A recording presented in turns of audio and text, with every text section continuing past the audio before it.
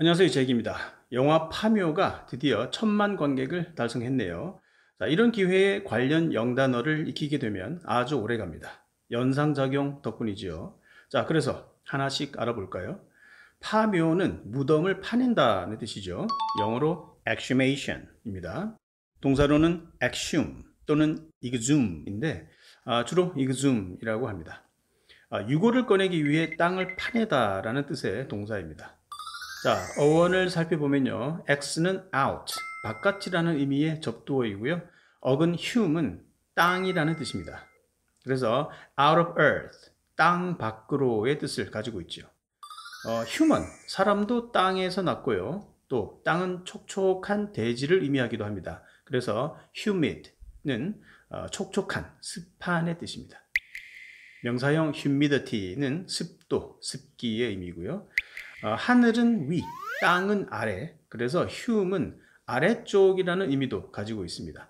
그래서 humble, humble은 뭔가 낮다, 아래쪽, 수준이 낮다라는 의미에서 미천한, 초라한 이런 뜻도 있고요. In my humble opinion, 변변찮은 제 의견으로는 이런 말 많이 하잖아요. 자, 이럴 때 많이 쓰는 표현이기도 합니다. In my humble opinion, in my humble opinion, 자, 이렇게 몸을 낮추기 때문에 겸손한의 뜻도 가지고 있습니다. He is so humble. 그 사람 참 겸손해. 아, 명사형은 humbleness 또는 humility, humility도 많이 사용합니다.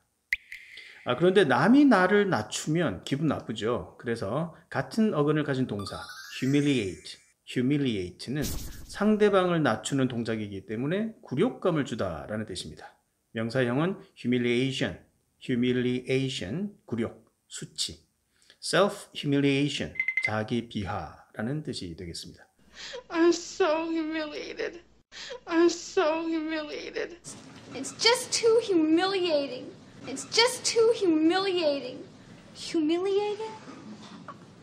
자, 이렇게 humble이 겸손과 초라함, humility, 겸손, humiliation, 굴욕. 자, 이렇게 뭔가 중의적인 의미를 가진 이유는 이 단어에 대한 원어민적 사고가 내가 남보다 낫지 않다라는 생각이 깔려 있기 때문입니다.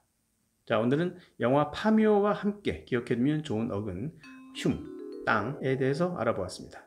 오늘은 여기까지입니다. 감사합니다.